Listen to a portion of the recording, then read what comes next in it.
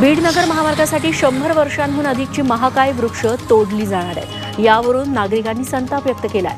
या महाकाय वृक्षांचं पुनर्जीवन करावं अन्यथा चिपको आंदोलन करू असा पवित्रा नागरिकांनी घेतलाय. ठाणे महापालिकेपासून हाकेच्या अंतरावर असलेला सिमेंट कॉन्क्रीटचा रस्ता खचलाय. मुख्यमंत्र्यांचे ठाणे या धर्तीवर रस्त्या रस्त्यांसाठी करोडो रुपये खर्च केले जात आहेत. याच निधीतून हा रस्ता बनवण्यात आला होता. मात्र हा रस्ता खचल्यानं शहरातील रस्ते बांधकामाच्या दर्जाबाबत प्रश्नचिन्ह निर्माण झालंय.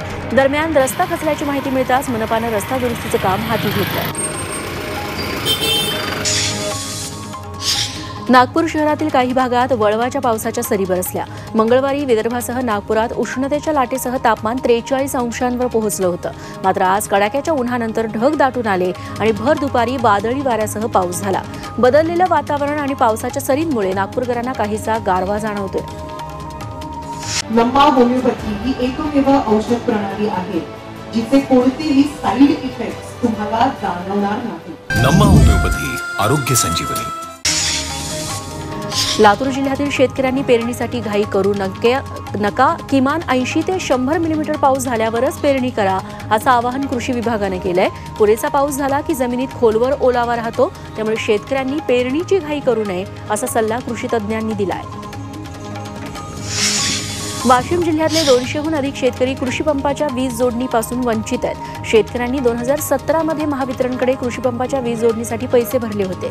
पण अजूनही नवीन वीज जोडणी झाली नाही. विजेअभावी पिकांना पाणी देणं शक्य नसल्यानं शेतकरी वर्ग पुरता हताश झालाय.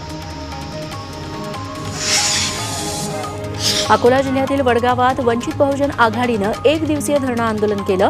कांद्याला भाव मिळत नसल्यानं रस्त्यावर कांदा फेकून सरकारचा निषेध नोंदवला. कांदा पिकाला हेक्टरी पन्नास हजार रुपये मदत मिळावी अशी मागणी करण्यात आली.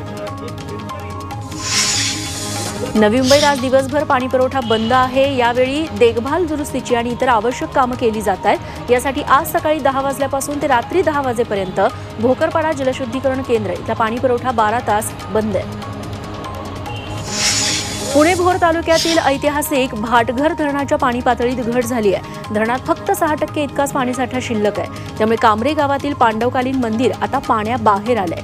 हे प्राचीन मंदिर पाहण्यासाठी नागरिक या ठिकाणी भेट देत आहेत.